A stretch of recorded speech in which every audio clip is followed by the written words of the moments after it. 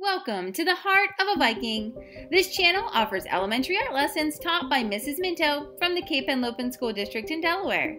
I look forward to virtually creating with you. There are new lessons posted weekly. Subscribe to the channel to make sure you don't miss a single one. So go grab your art supplies and your thinking caps and let's begin.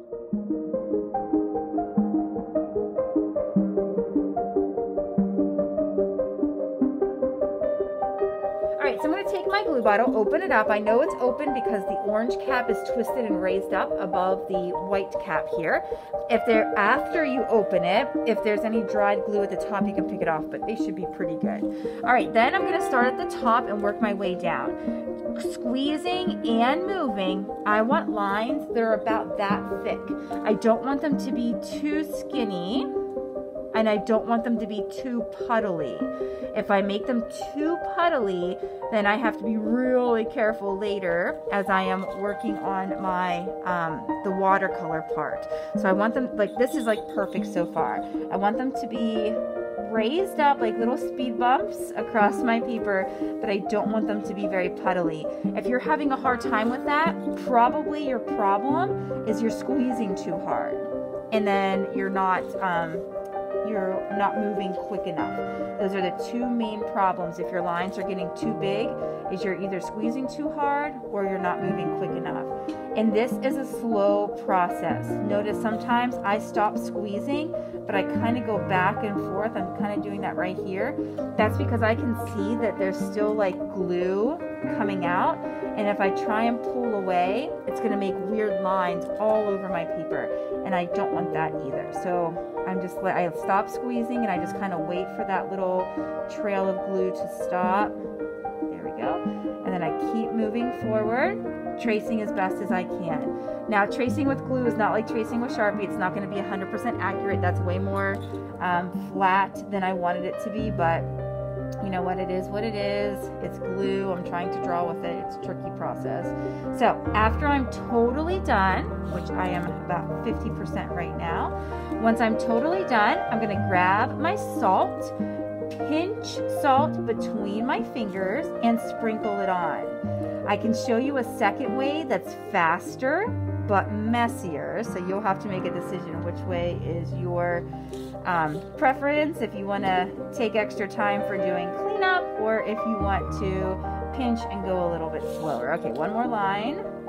Last one. Okay, so the so the pinching method, let me put this over here. Okay, so the pinching method means I can hold this in one hand, take my pincher fingers, grab some, and sprinkle it on. And I want it to be coated. I want it to be like all over the um, the glue. So I want, it's like I'm putting glitter on. If you've ever used glitter before, it's kind of the same process, except it's salt instead. And there's obviously too much. It's like all over my paper too, but that's okay. The other way you can do this is, yep, you can turn it to the side, sort of shake it like a salt shaker, and sprinkle it totally on. But if you dump it all in one spot and you don't have enough for the rest, it's kind of, you know, too bad, too sad, and you have to um, scoop it back up and dump it back in your cup and then keep going. All right, so when you're done, give your glue a second to attach to, now I have a little bit left, so I'm just gonna resprinkle some areas. So kind of use it all up. And then give your um, project a second to like grasp all of that um, salt. Then when you waited a couple of seconds, you can pick it up very gently, shake it. Notice I'm shaking it onto my newspaper. That's because, let me shake it this way. Gentle though, because if I shake it too hard, the glue is gonna run. Shake it, shake it, shake it. I'm gonna put this somewhere else for a second. I'm gonna put it actually over here, but you can just put yours like on a different spot on your desk. Now, this salt here can be saved. I'm gonna fold my newspaper in half like that, get my little cup and make a funnel and shake it back in.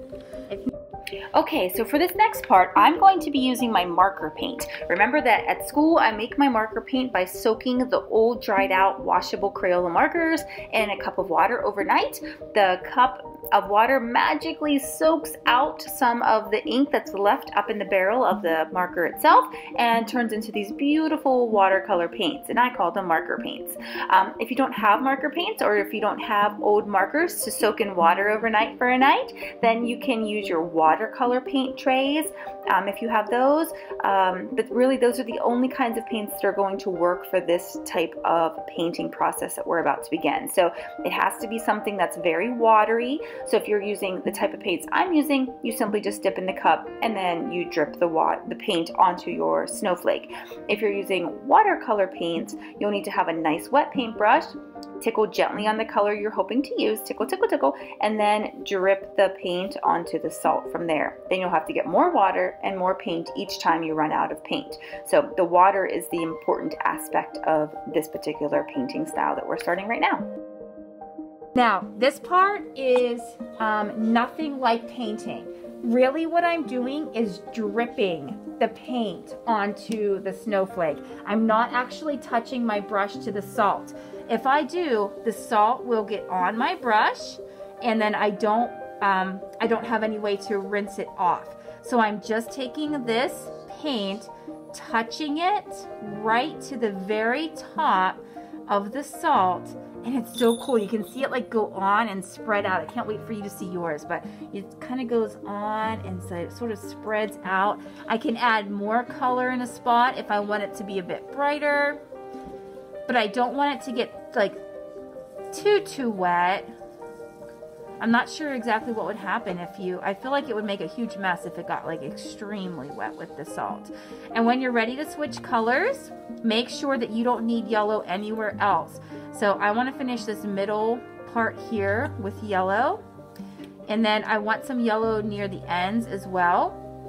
So once I finish here, I'll go ahead and put my yellow on the ends like maybe up here and then I can switch to my pink because if I try to go back to yellow later I'm still gonna have pink in my brush since it is the darker color and it will never be like pure yellow again after this. So my brush is just right above. I'm not painting at all. The paintbrush is simply just like a sponge holding on to the paint and moving it around. So now I'm going to take my brush, kind of brush it on the newspaper, get out some of that yellow, and then I can move on to my darker color, which for me was yellow, pink. There's like a little bristle or something, so I'm going to just brush that away. There we go. And then just tap that on the surface. I can also be fun and put some of the pink in the yellow. So maybe what would happen if I put some of the pink into the yellow Yep, it'll make like kind of a corally sort of color. And you might get some like happy accidents, we'll call those. I didn't really mean for it to spread right there, but it did. So we'll just call that a happy accident. And then put some more, oh, oh, I did yellow. Whoopsie. Okay, there we go. Back to here, and here, here. And I can just keep doing this. Of course, I don't want it to get too, too wet because I'm worried about what could happen. But because of that nice waxy crayon that I had on here from yesterday, it should keep the color and the water and the paint sort of in its spot where it's supposed to be. When you're all finished, you're going to put it to the side to dry, of course. I don't know if you could tell from this video, but I was actually filming in one of the fourth grade classes that are learning in person at HOB, so you might have heard some of your friends' voices in the background.